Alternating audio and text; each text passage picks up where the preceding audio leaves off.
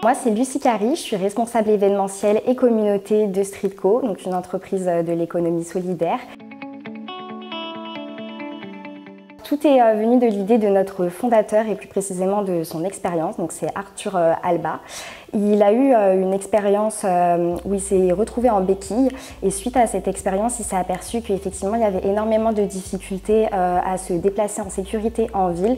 Il s'est aperçu qu'il n'y avait aucun, aucune solution qui n'existait et c'est donc là qu'est née son idée de développer un GPS sans obstacle.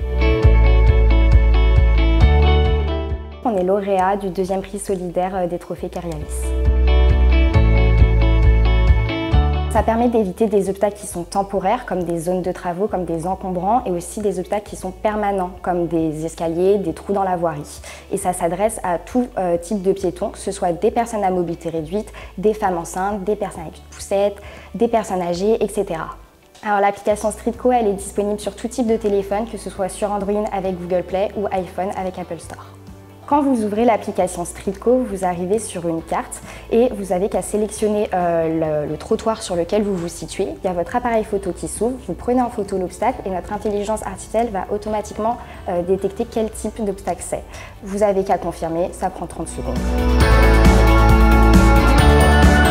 Alors notre mission, c'est euh, d'être présent dans les 50 villes françaises et européennes d'ici fin 2024.